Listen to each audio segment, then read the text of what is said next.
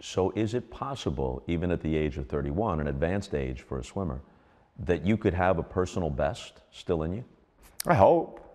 You know, I mean, I, I haven't done a best time since 2009, and and you know, in our in our sport, it's like you know, you don't want to work for a year or two or three or four years and not get faster. I'm swimming faster than I have then, uh, and and um, potentially it could happen. Know, I'm, I'm not going to say no, but I, I, would love to see a best time, um, and and I think whatever happens in Rio, I'll be able to turn the page and know that that was the best that I could do. Some of your teammates are obviously your friends, but they're also your rivals. Yeah. It's clear that there's a lot of mutual respect between you and Ryan Lochte. On the other hand, he holds the 200 IM record. You've yeah. always prevailed at the Olympics, but he holds the record.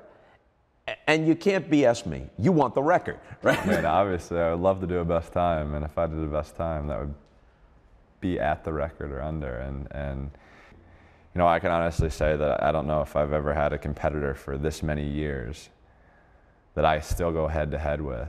That we are literally stroke for stroke in every single race, mm-hmm. and Ryan's that. And and neither one of you would be as good without the other, probably. No, I agree.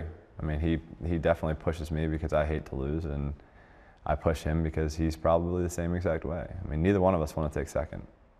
So we're gonna, we're gonna have a dogfight every time we get in the pool.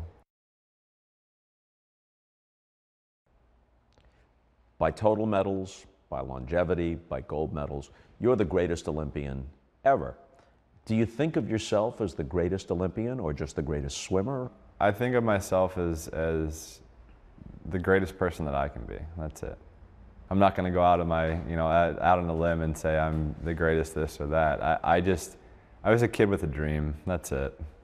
And, and um, you know, the people before me set the bar so high, and, and I was a little kid that wasn't afraid to dream as big as I could. And that's really it. I, you know, like you said, like we were talking before, I, I was dedicated, I was hardworking, and that put me in the shoes where I am now.